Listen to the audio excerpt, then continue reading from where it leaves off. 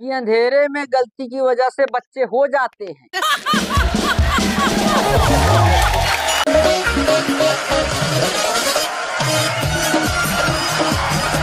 नमस्कार नमस्कार। Thank you thank you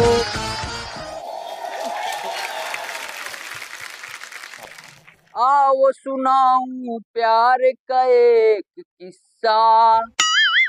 मैं रोटी बनाने जा रहा, तू जल्दी से चटनी पिसा। दोनों मिल के खाएँगे, नहीं बिल्कुल भी शर्माएँगे। आओ सुनाऊं प्यार का एक किस्सा। मैं रोटी बनाऊँ, तू जल्दी से चटनी पिसा।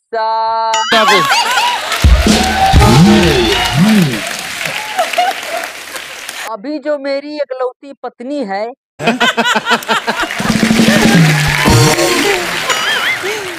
अरे हाँ भाई एकलौती पत्नी।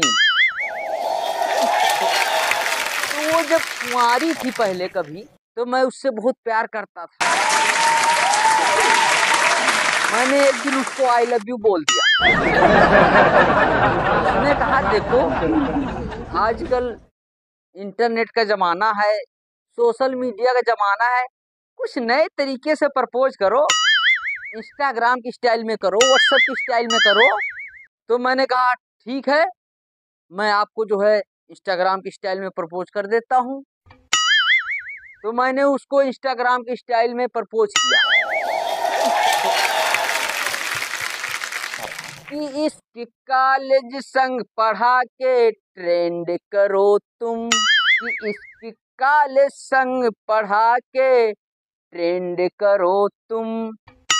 मुझको अकेले छोड़ के बाकी को अनफ्रेंड करो तुम। लीडर हो के टाइप करो आई लव यू नीडर हो के टाइप करो आई लव यू और मेरे ही आईडी पे सेंड करो तुम। और इतना ही नहीं, मैंने उसको बोला कि तुम चाय की तरह मुझको प्रेम करो, कि तुम चाय की तरह मुझको प्रेम करो। अगर मैं पार्ले जी बिस्कुट की तरह उस पर डूब कर ना मर जाऊँ तो कहना। तो अच्छा मैम। पत्नियों को पाने के लिए हमेशा से ही प्रतिद्वंदिता तो चलती आ रही है प्रतियोगिता होती रही है। जैसे कि त्रेता में श्री रामचंद्र जी ने सीता जी को पाने के लिए धनुष तोड़ा था। वाह! क्या बात है। और द्वापर में अर्जुन ने द्रौपदी को पाने के लिए मछली के आँख पर निशाना लगाया था। अच्छा जी।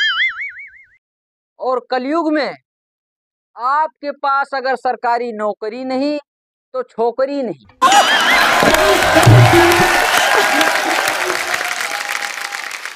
तो तेरा राम जी करेंगे बेड़ा पार, उदासी मन काहे को करे?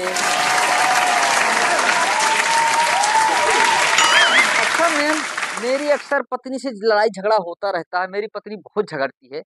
मैंने एक दिन उससे कहा कि देखो यार, हमारी तुम्हारी शादी को इतने साल हो गए हैं, अब तुम मुझसे ऐसे क्यों लड़ती झगड़ती रहती हो?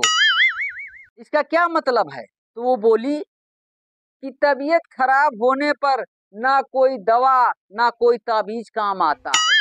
कि तबीयत खराब होने पर ना कोई दवा, ना कोई ताबीज काम आता है।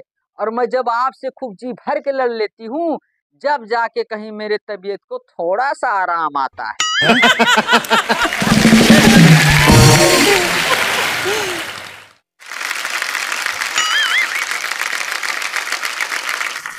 मेरे साथ तो आजकल कुछ वो ऐसा व्यवहार कर रही है।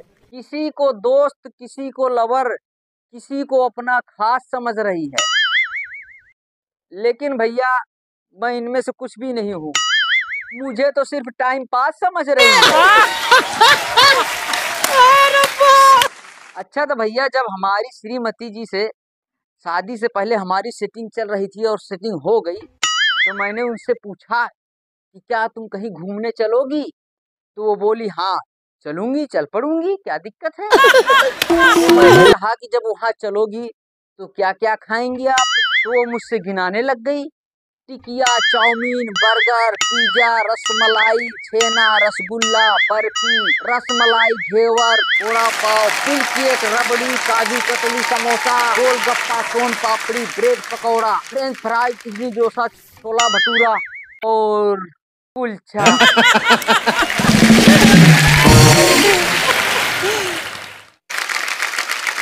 इतना सब बताने के बाद फिर वो बोली कि देखो जी, ज़्यादा कुछ नहीं खाना है, बस थोड़ा ही खाती हूँ।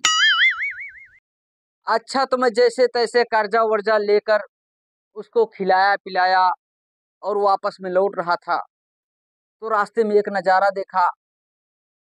एक बुज़ुर्ग दादाजी थे, रास्ते से चले जा रहे थे। इतने में सामने से एक लड़की आ रही थी। दादाजी की निगाह ना पड़ी उस लड़की से, टकरा गई।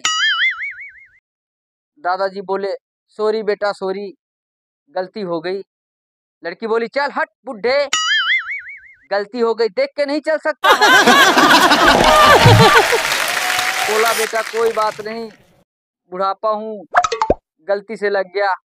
अच्छा जैसे तैसे वो सॉरी बोल के बुढ़ा चलने लग गया। इतने में उधर से एक लड़का आ रहा था। और संयोग से उस लड़की से वो भी टकरा गया।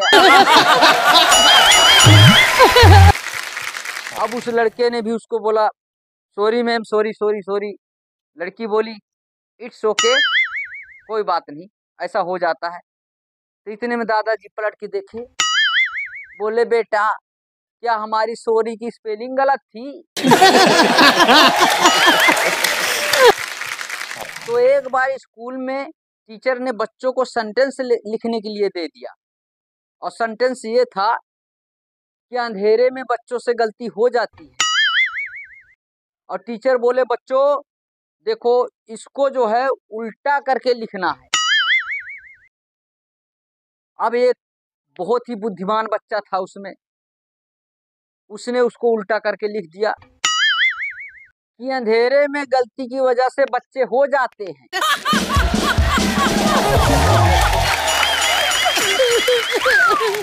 तो अच्छा एक बार एक अदालत में किसी मुद्दे को लेकर दो वकीलों में बहस हो गई।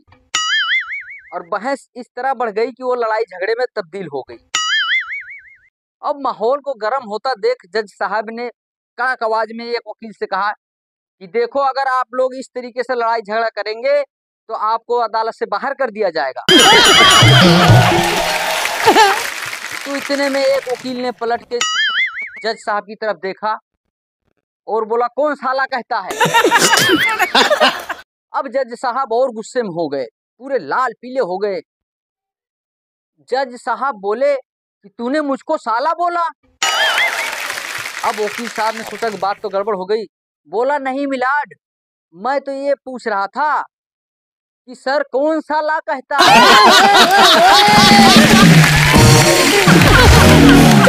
थैंक यू थैंक यू तो दोस्तों, आप लोगों को हमारी वीडियो कैसी लगी? आप लोग, वीडियो अच्छी लगी तो आप लोग हमारी वीडियो पर एक लाइक करें और प्यारा सा कमेंट कर दें। अगर आप हमारे चैनल पर नए हैं तो आप चैनल को सब्सक्राइब ज़रूर कर लें। धन्यवाद, मिलते हैं हम आपको नए वीडियो में एक धमाकेदार कमेडी के साथ। तब तक के लिए जय हिंद।